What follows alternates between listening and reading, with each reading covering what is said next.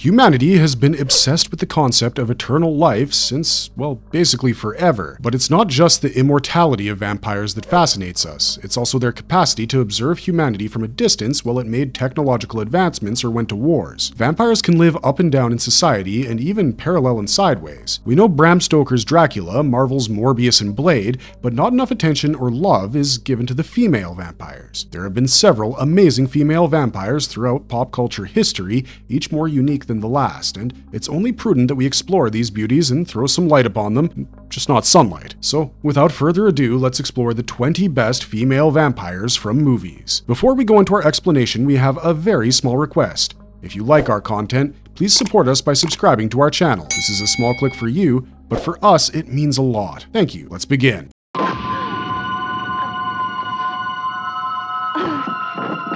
Miriam Blaylock, The Hunger. 1983. Miriam Blaylock is the main villain from The Hunger, a film that's pretty much a feast for the eyes as it is an exploration of the immortal dilemmas of love, aging, and the quest for eternal youth. Played by Catherine Deneuve, Miriam has been around since ancient Egypt, making her one of the OGs of the vampire world. This lady has a taste for the finer things in life, seducing lovers with the sweet promise of forever youth. But there's a catch. While you get to hang around for eternity, you're doing so in the fast lane to look like your own grandpa. Miriam's story gets rather interesting when her latest beau, John, a cellist from the 18th century with a wardrobe as timeless as his love for Miriam, starts aging faster than the speed of light. Okay, that's a bit of an exaggeration, more like a ripe banana in the sun, but anyway, the film, directed by Tony Scott, is a visual masterpiece that doesn't shy away from the nitty gritty of what it means to love when you're an eternal being with a slightly questionable moral compass. Miriam had layers, like an onion or a really expensive cake. Sure, she might use her lovers for a bit of immortal company,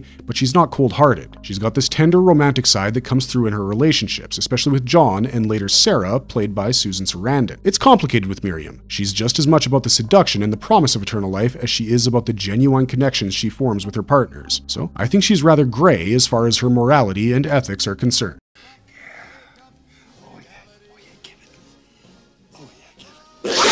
Marie, Innocent Blood. 1992. Marie, brought to life by Anne Parillaud in Innocent Blood, isn't your typical vampire. This lady has a code. She's a bit of a Robin Hood type, but instead of stealing from the rich, she feeds on the bad guys, and, well, who are we to judge? Everyone has their own sense of justice, and you can think of her as the night's own vigilante who picks up members of the Italian mafia to quench her thirst. She's meticulous too. After her meal, she makes sure her dinner doesn't wake up craving blood smoothies, so she takes them out for good with a bullet to sever the spine. Like most vampire stories with female leads, her life changes when she bites off more than she can chew with mob boss Marcelli. A slip up in her usual cleanup routine turns him into a vampire, which sparks a mess she hadn't bargained for. Then comes in Joseph Gennaro, an undercover cop. Together, they're a match made in well, definitely not heaven, but they're pretty darn effective at trying to put the undead Marcelli back in the ground. After the dust settles and Marcelli is dealt with, Marie experiences a good old existential crisis. Overwhelmed by the fallout of her actions, she contemplates ending it all under the harsh glow of the sunrise. Yet, love has a funny way of throwing a wrench in the works. Gennaro, smitten and determined,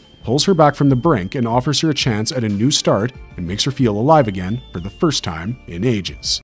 Ernessa Block, The Moth Diaries. 2011. Ernessa Block, played by Lily Cole in The Moth Diaries, was another unique vampiress, someone like that new kid who transforms everything and everyone around them. An all-girls boarding school is already a breeding ground for secrets and whispers, and it gets a dose of the mysterious with Ernessa's arrival. She has this, uh, sort of enigma and a cloud of mystery about her, which makes her both intriguing and a tad unnerving. From the very beginning, Ernessa's mere presence brings all sorts of trouble, especially when it comes to Rebecca, our lead, who is already wrestling with her own demons of loss and and grief. Ernessa, with her ghostly aura, becomes the personification of the darkness Rebecca is trying to evade. But Rebecca starts piecing together a theory that Ernessa might be dealing with more than just teenage angst. Rebecca quite rightly figures that Ernessa might be a vampire preying on Lucy, who is the best friend of Rebecca. Ernessa's character is the one that's filled with seduction and mystery, which kinda resembles the classic vampire story Carmilla. Through her, the film explores the themes of isolation, paranoia, and the overwhelming tide of grief that can drown the best of us. Eve. Only lovers left alive. Eve is the kind of vampire who's been there, done that, and still manages to keep her cool with an air of elegance only Tilda Swinton could bring to the screen. This lady is centuries old wisdom wrapped in a cloak of modern charm, with a love for life's finer pleasures, be it art, literature, or music. Despite roaming the earth for hundreds of years, she didn't even turn into a cynical old bat. She rather became a connoisseur of human creativity. Living apart from her husband, Adam, Eve has set up shop in the vibrant alleys of Morocco. But these two are what the younger generation calls couple goals. They're bound not by time or place, but by an immortal love. When she senses Adam sinking into a pit of despair back in his Victorian home in Michigan, she doesn't hesitate to catch the next night flight out. Because that's what you do when your eternal soulmate is feeling blue. You show up. Eve is like a breath of fresh air in Adam's gloomy world. She urges Adam to snap out of his funk and appreciate the beauty still lurking in the shadows of humanity's mess. But just when you think Eve has it all under control, we meet Ava, Eve's younger sister, who brings chaos into the mix like only a reckless vampire can. While Eve sips on ethically sourced O negative,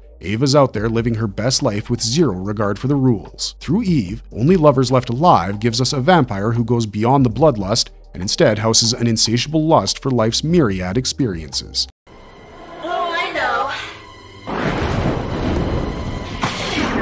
Valerie Sharp, Dracula 2000. Valerie, played by nerd icon Jeri Ryan, is your quintessential TV news reporter turned vampire vixen. She was out there, mic in hand, hoping to catch the golden hour glow for the gram, er, I mean for the evening news. Like any reporter worth her salt, she wanted that perfect shot, insisting her cameraman, JT, capture her best angles, sunset and all. But then, Dracula himself decides to photobomb her live broadcast. Before she knows it, Valerie is embroiled in all things horror. She tries to escape and even locks herself in the van, only to watch her cameraman meet his doom on the live feed. Dracula tears through the van like it's made of paper, and with a mix of charm and supernatural mojo, he seduces Valerie right then and there. Next thing you know, she was sporting the vampire look, complete with a bite mark, of course. As one of Dracula's brides, alongside Solina and Lucy, Valerie forgot all about her reporting duties and dedicated herself to protecting her man, even if it meant taking down Van Helsing himself. After her transformation, her personality does a 180. The once friendly and professional Valerie turns into a cold hearted protector of Dracula, ready to fight with anyone who crosses her path. She even gets a bit flirty with Simon during a fight, but all good things and bad vampires must come to an end. Valerie meets her death courtesy of a wooden stake to the chest, courtesy of Simon.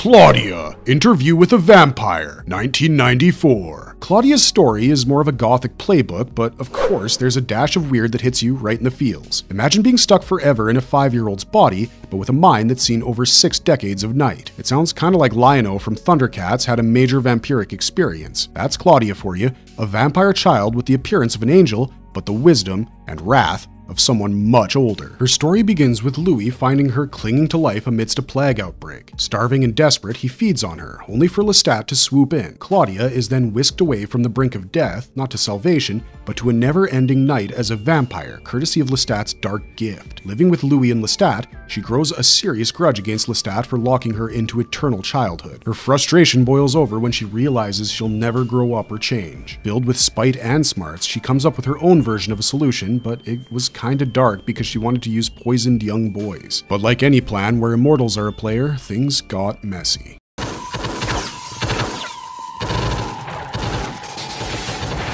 Selene Underworld series.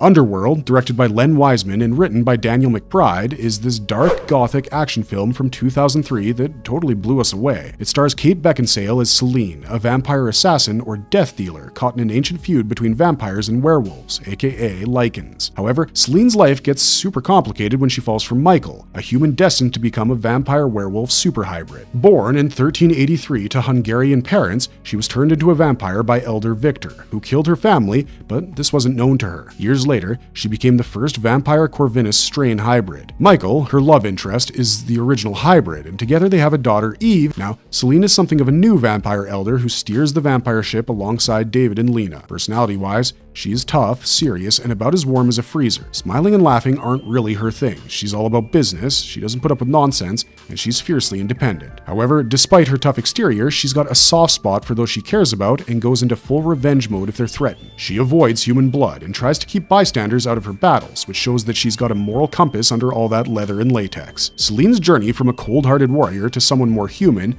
thanks to her connection with Michael, really makes her a special kind of vampire. Someone who absolutely deserves to be in this video and maybe even top of the list. Plus, her iconic all black outfit became an instant hit, so there's that as well.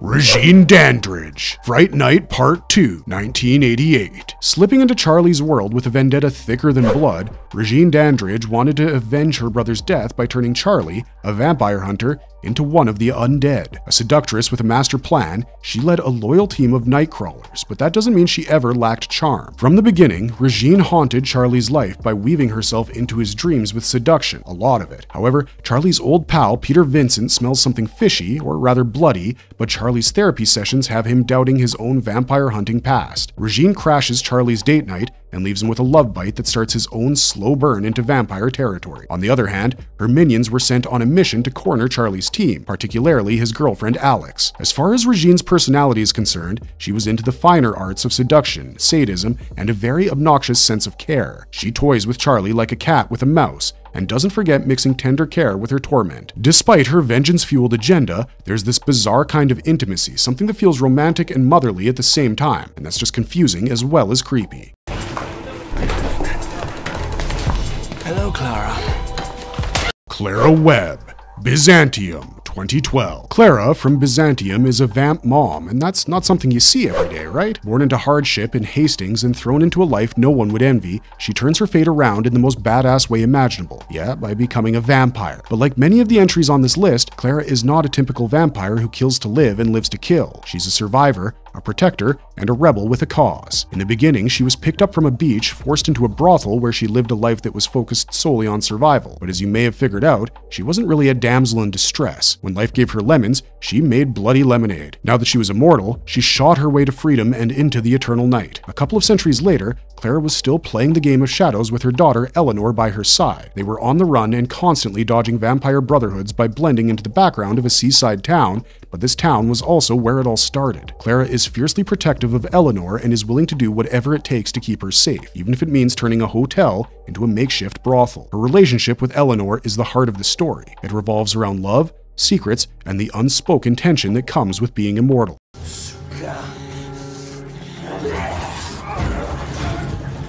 Nadja, Blood Red Sky. 2021. Nadja from Netflix's Blood Red Sky was stuck on a plane with her kid when hijackers did their thing and she had no choice but to unleash her inner Dracula to save the day. A mom first and a vampire second, an accidental action hero when things get going tough, Nadja is all of those things and more. Her vampire story doesn't start with the usual bite at a glamorous ball, but in a battle for survival during a snowstorm road trip gone wrong. Nadja, her husband Nikolai, and their baby boy Elias found themselves in trouble when their car went cold in the middle of nowhere. With Nikolai going MIA while seeking help, Nadja steps up, baby in tow, braving the snow like a boss. Stumbling upon an old farmhouse that screams, enter at your own risk, she finds more than she bargained for a blood trail, obviously her husband out of the picture because of a vampire with a serious attitude problem. After a fight that pits the new mom against a bloodthirsty monster, she manages to survive until sunrise thanks to some quick thinking and a basement door. But victory comes with a price as she finds a bite mark on her hand. In the movie, Nadja tries to prove the old vampire wrong, fighting tooth and nail literally to control the beast within for the sake of her son and the passengers. Despite her best efforts, the film closes on a note that echoes the old vampire's warning the curse is too strong to tame. Carmilla Karnstein, The Vampire Lovers, 1970. The Vampire Lovers is a classic slice of 1970s hammer horror, no cap. We don't know about you, but uh, we kind of love this film simply because it was one of the most fresh ideas back in the day. It all starts in the 18th century with this stunning vampire girl in a misty graveyard. She tries to go fang to fang with vampire hunter Baron Hartog, but ends up losing her head instead. In 1790, this mysterious lady ditches her daughter, Marcia, at General von Spielsdorf's Styrian home. Marcia, who's really Carmilla in disguise, gets kinda chummy with the general's niece, Laura. But things take a dark turn when Laura starts having these strange and horrifying nightmares and suddenly dies. Carmilla, on the other hand, vanishes right after. Next, Carmilla crashes at Mr. Morton's place. She wins over Morton's daughter, Emma, but her vampire instincts kick in and Emma starts showing signs of Carmilla's nightly visits. Emma's governess falls under Carmilla's spell too, turning into her helper in crime. Despite some in the house getting suspicious and even dying mysteriously, Carmilla's spree continues unchecked. Things escalate when Carmilla, after killing the butler and duping him about the governess, tries to whisk Emma away, but her plan is foiled when a young man named Carl steps in with a makeshift cross. Carmilla escapes back to her ancestral ruins. Just in the nick of time, General von Spielsdorf shows up with Baron Hartog. They track down Carmilla's resting place, and despite Emma's distant protests, they end Carmilla's undead escapades with a stake to the heart and a beheading. And, for the grand finale, Carmilla's portrait turns from beauty to beast, revealing her true nature. Mina Harker, Bram Stoker's Dracula. 1992. Mina Harker, originally Mina Murray in Bram Stoker's Dracula, is a fascinating character who is the personification of Victorian restraint and deep transformative passion. When we first meet Mina, she's the portrait of a proper, somewhat repressed young woman of her time who dabbles in mild rebellion by peeking at risque literature. But this fair maiden's life falls apart and into the extraordinary when she crosses paths with Count Dracula, a centuries old vampire who sees in Mina the reincarnation of his lost love, Elisabetta. Dracula's arrival ignites a dormant fire within Mina. She's drawn to him with an intensity that's as much about the allure of the forbidden as it is about the echoes of a past life. Her journey from a reserved fiance to a woman torn between her love for Jonathan Harker and the dark, magnetic pull of Dracula is quite contrasting to say the least. Mina's struggle is palpable. She's caught in a web of desire, loyalty, and fate. Dracula's bite and the sharing blood bring them closer which creates a telepathic connection. However, you should note that this connection was both a blessing and a curse. It's through this bond that Mina starts remembering her past as Elisabetta, which further complicates her feelings. I mean, following this, she starts to get increasingly torn between the two men. Despite the dilemma and the tempest raging in her heart, Mina's love for Dracula doesn't cloud her sense of right and wrong. In the chapel, where Dracula renounced his fate, she offers him peace through death.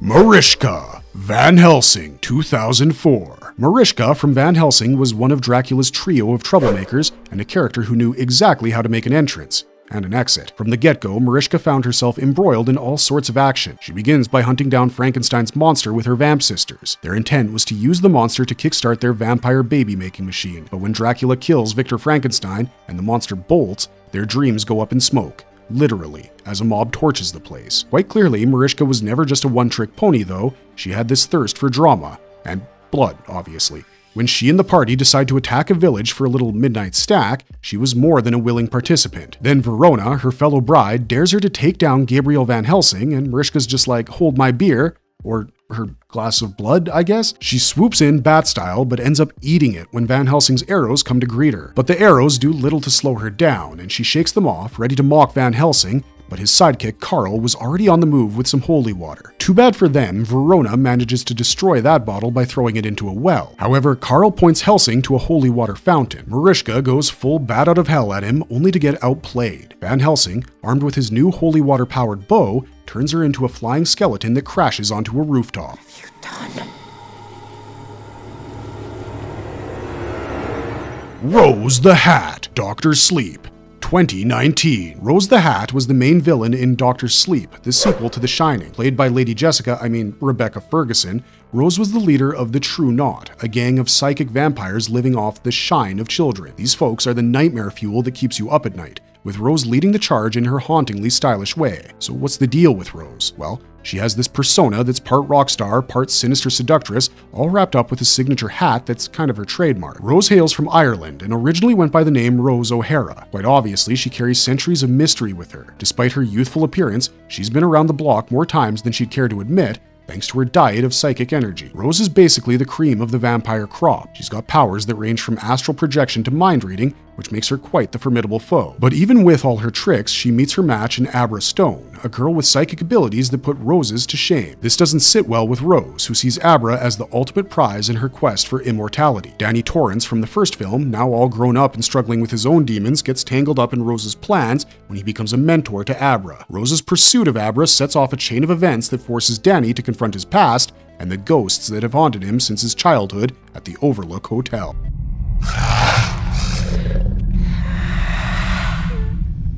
The Girl. A girl walks home alone at night. 2014. This Iranian film opens in a huge wasteland only known as Bad City. The multitudes of oil drilling machines let out a sense that Bad City is on its way to becoming a ghost town. In this setup lives a hardworking but unfortunate teenager named Arash, who is not just lonely, but also has to take care of his heroin addict father, who owes money to a drug dealer and a pimp named Saeed. To make ends meet, Arash works as a gardener for a wealthy family, but when Saeed seizes his car as repayment for his father's loan, Arash resorts to stealing. When he goes to meet Saeed to give the diamonds in return for his car, he finds that Saeed has been brutally murdered. Arash takes his car along with the bags full of drugs and cash, and he goes to a club to sell his drugs only to later meet a girl. Unbeknownst to Arash, the girl is a vampire who saved the poor and oppressed women and children of Bad City by slaying the oppressors. As Arash and the girl start to develop feelings for each other, they find themselves at a psychological crossroads. Ana Lily Amirpour's film asks what happens when a good girl obsessed with killing bad guys meets a good guy. Does she love him, or does she find a new perspective to look at things? This ultra modern vampire love story was shot in stylishly expressionistic black and white with slow direction. It certainly gives a different view and interpretation of the vampire genre that's always been the bread and butter of teens and action horror lovers.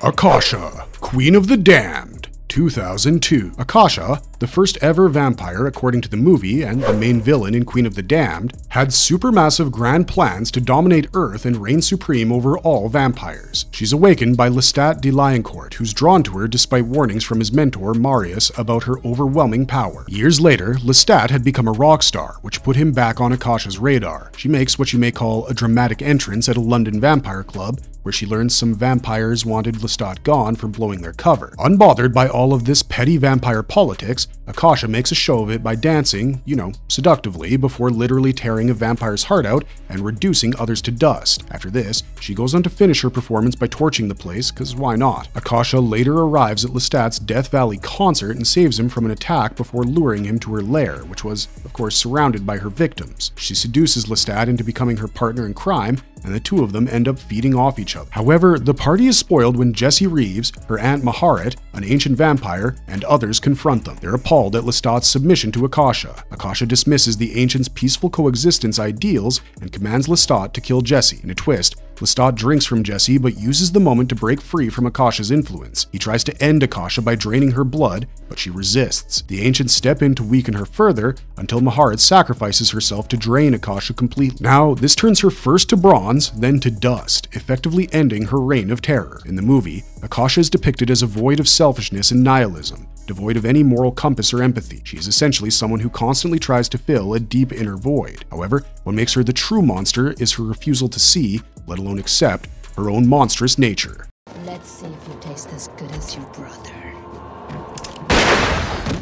Santanico Pandemonium. From Dusk Till Dawn, 1996. Santanico Pandemonium, originally Esmeralda, was born a Dhampir in 1894. As fate would have it, she found herself caught between human and vampire worlds. Raised by her dad, Mauricio, who tried and failed to keep her human, her life was far from easy and was marked by abuse and attempts on her life. So it's safe to say that Esmeralda had anything but a regular childhood. But then you can't really expect that if you're a Dhampir, or basically the children of a human and a vampire. By 1913, when she was just 19, she was starting her first major turning point. She saw one Johnny Madrid's near execution by her father and ended up whisked away by Madrid after he escaped. They soon crossed paths with American author Ambrose Bierce and a newlywed couple, which led her to La Tetla del Diablo, and it was here she reconnected with her vampire heritage and learned that she was Quixtla and Mauricio's daughter, destined to become a vampire princess. Her transformation completed after she kills her grandmother and turned her father into a vampire. However, despite her attempts to hold on to Johnny, he ultimately left her. So, Santanico Pandemonium lived like this for quite a while and became a force to reckon with. In the year 1996, she was known in the vampire community as the feared and seductive vampire queen of the Titty Twister who used her allure as an exotic dancer to entrap and feed on patrons. Interestingly, she even had herself a slave named Seth, though Seth later killed her, so that was a shitty thing that happened to her. As Esmeralda, she was gentle and kind-hearted, but as Santanico, she was super cold and merciless. Naturally, she viewed humans as nothing more than food or second-grade life forms.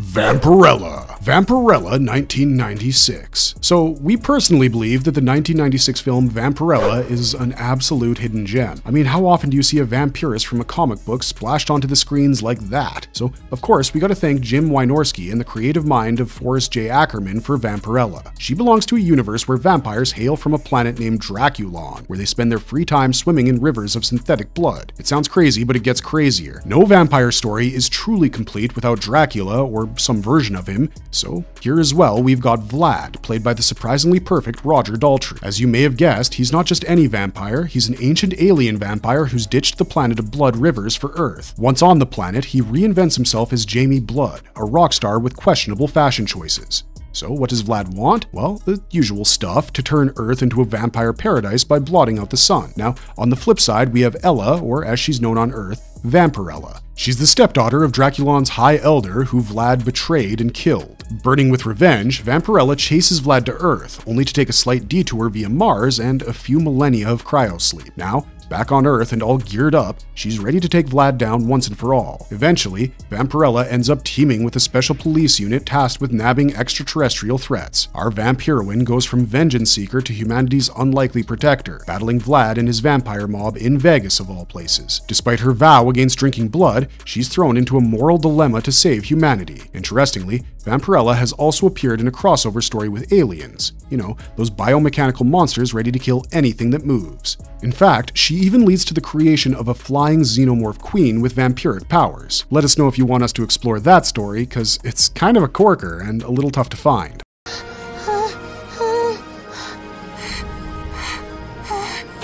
Rayne.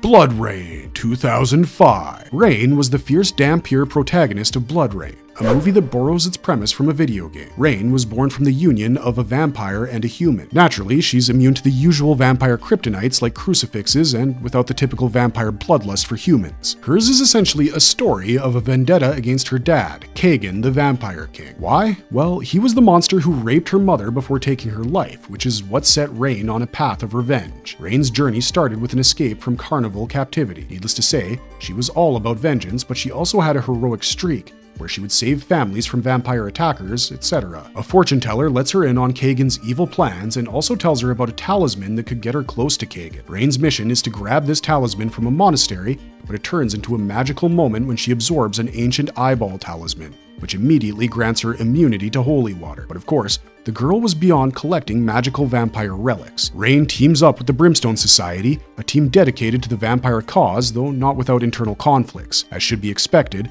betrayals and battles ensue, with Rayne showing off her fighting skills, especially when retrieving another talisman from water-filled caves. The climax has Rayne facing off against Kagan in his castle by tricking him with an empty box instead of the heart talisman. Despite the loss of her allies, Sebastian and Vladimir, Rayne's determination sees her through. She uses her wits and strength to finally defeat Kagan, thereby successfully avenging her mother and ending his reign of terror. Rayne's story wraps with her taking a moment on Kagan's throne before setting off to the mountains. So, yes, she was very well a Dhampir, but her heritage didn't define her even in the least. In the end, it was all about what she did instead of who she was.